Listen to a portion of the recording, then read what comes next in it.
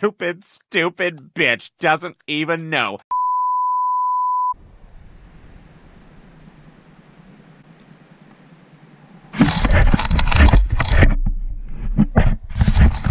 Oh, come on, man.